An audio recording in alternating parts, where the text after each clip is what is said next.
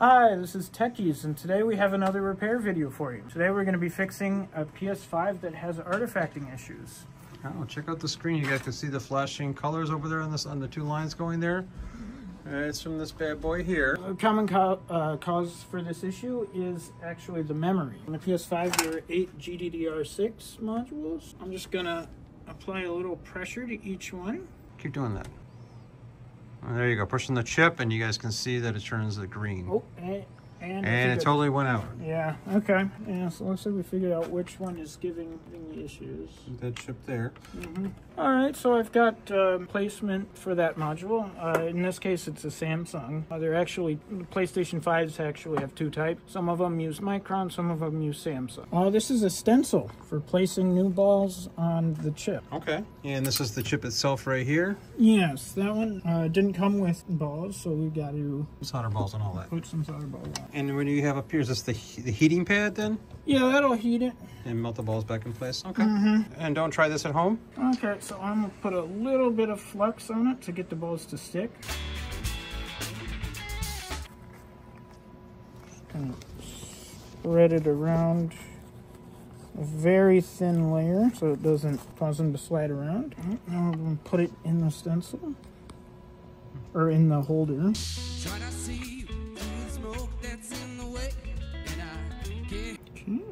Lock it in. And it's probably hard to see, but the stencil lines up with all the solder ball holes. Yeah. Now, what size solder balls do we use? All right, zero four five. Okay. Mm -hmm. Excellent. These are leaded, by the way. Two thirds tin, one third lead. Just gonna pour a few of them on there. Remember that marble game where you had to twist the knobs all around to get the holes, marbles to go in the holes? Labyrinth. Yes, I feel like this is that. Mm -hmm. so this is make sure it have any excess balls, and he's just to make sure there's one in every single hole, and then he's going to peel off all the extra ones. Mm-hmm.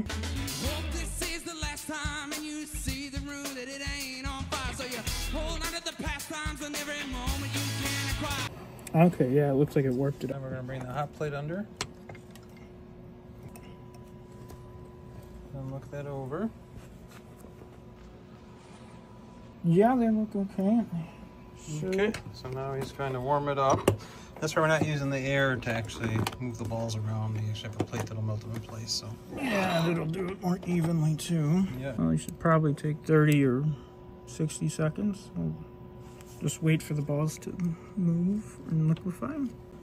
All right, so we got a couple balls we got to fix on there, but you can see it's smoking now, mm -hmm, and, they're, uh, and they're all nice and shiny in place, except for those couple we got to fix. So we're gonna. Oh, here they go.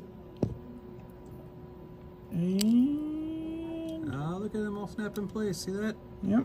And that one rolls off, and we'll fix those three. All right. All right, there we go. We are done. Okay, so now that we've got it all finished, we gotta clean it up. So I'm gonna use some alcohol and a toothbrush. All right, now. Now we're gonna take the old one off and swap them.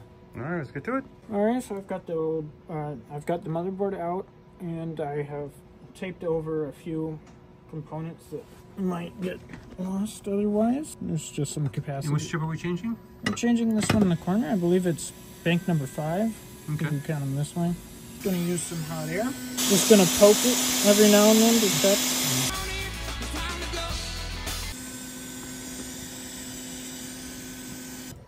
Here's our temperature. We use an iron with a flat, flat end.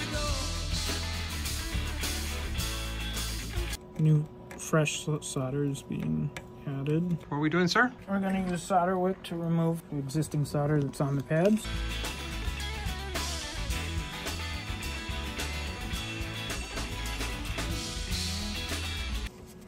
Using, use the Goot Wick, we like it a lot. Q-tip and alcohol and get all the residue all off so it's a nice and clean surface. Mm-hmm. Snap in place real easy. Gotta be very... Very thin. Yeah, if you put a lot on there, flux will bubble and push the chip around. Yeah. And very important that the orientation of the chip goes on the right way too. Mm-hmm. Over, align the dot. You can see previous chips which way, so the next goes the right way, is that right? Yep, yeah, and on the motherboard there is an arrow. One, two, they look like pads, you know, the regular yes, yes. pads are circles, but, but these four are square, and that's because they don't actually go to anything, they're markers. Okay. Now, what are we going to do next, Riley?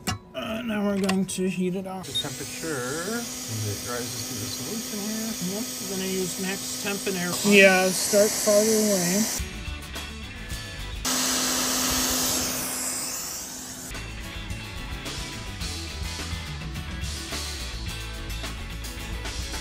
Now we'll let it cool and then clean it. All right, guys, so now he's pulled the tape off. He's just going to clean it with some uh, 99% alcohol. And uh-huh. again, 99% alcohol, Yeah. not 80. Get it under there. Toothbrush, scrub all around it. And this is the famous Riley. Just ask for him whenever you come in. Oh, oh boy. So what Riley's doing here is this is the liquid metal. Oh, this is He's respreading it back around on the chip because it tends to move around a little bit, especially when it stands up, which is a big no-no. Always keep your PlayStation 5 laying sideways so this liquid metal doesn't slide down. Mm-hmm. All right, so here it is. You guys can see the new chip in there. And we're going to see if it comes up here in a second. And look at that, a beautiful screen with no funny colors anymore.